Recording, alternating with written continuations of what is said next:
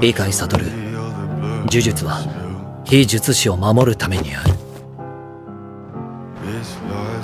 清少隊のガキが同化を拒んだ時そん時は同化なし。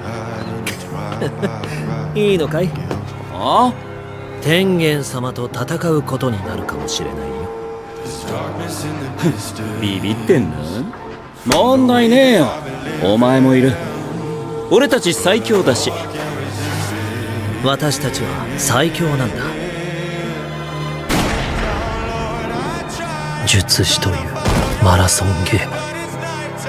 その果てにあるのが仲間の屍の山だとしたら。ブレるな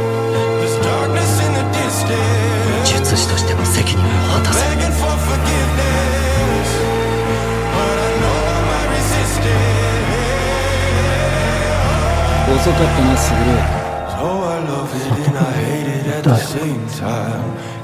何がスグルこい。つら殺すか今の俺なら多分何も感じない。い。い。意味がない。意味ない。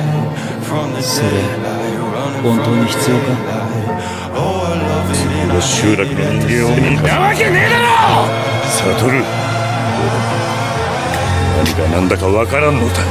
説明しろ。スグル意味ない殺しはしねえんじゃなかったのか。意味はある。意義です大義ですよ。もうしねえことをせこせこやんの。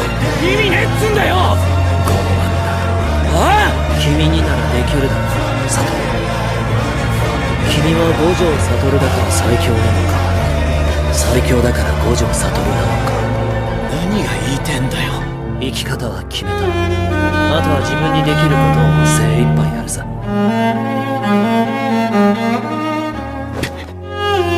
殺したければ殺せ。